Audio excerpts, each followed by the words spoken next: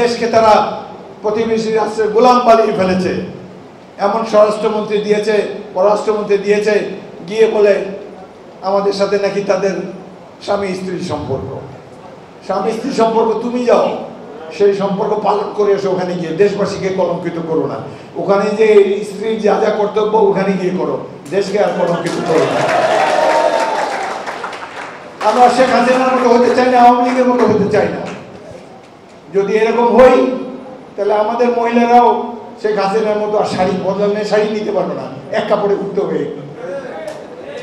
এত ক্ষমতাশালী সুইস ব্যাংকে এত টাকা, যার পিওনের চারশো কোটি টাকা আছে, তিনি একটা শাড়ি হাতে নিয়ে যেতে পারেনি পরনের কাপড় নিয়ে বিদায় হয়েছে। ভারত সম্পর্কে বলতে চাই, আপনারা মুক্তিযুদ্ধে আমাদেরকে সাহায্য করেছেন, অনেক কৃতজ্ঞ। লড়াই করেছেন, আমাদের পাশাপাশি যুদ্ধ করেছেন। কিন্তু এই দেশকে প্রভু হওয়ার কোনো চেষ্টা করবেন না। জনগণের বন্ধু হওয়ার চেষ্টা করেন। বিএনপি ক্ষমতায় গেলে আপনাদের সাথে বন্ধুত্বের সম্পর্ক থাকবে। কিন্তু কোন ভাবে আমাদের দেশকে, সাধারণ মানুষকে, দেশের সম্পদকে এক্সপ্লয়েট করার কোনো চেষ্টা করবেন না। আমরা বন্ধু হিসাবে বসবাস করতে চাই। সার্কের প্রত্যেকটা কান্ট্রি আপনাদের বিরুদ্ধে কেন? ছোট ছোট দেশ। হোয়াট ইজ মালদ্বীপ হোয়াট ইজ শ্রীলঙ্কা আর আমরা আঠারো কোটি মানুষের দেশ। আমরা সেই বন্ধুত্ব পুনর্জীবন করতে চাই বন্ধুত্ব হবে জনগণের সাথে।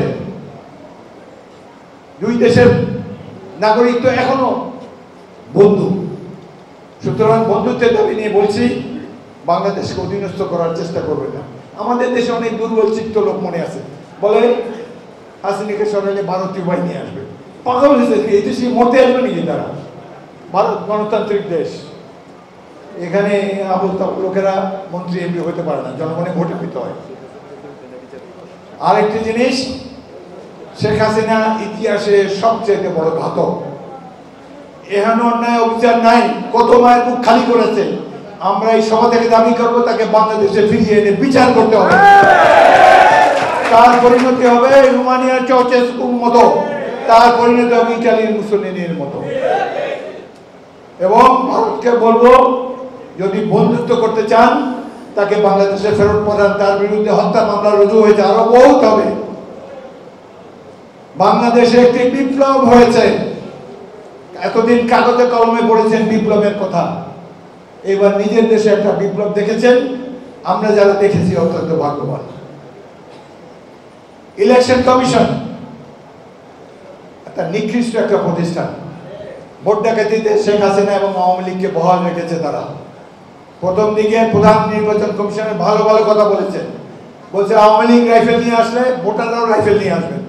ভোটারদের ঘরে ঘরে গিয়ে রাইফেল আছে নাকি?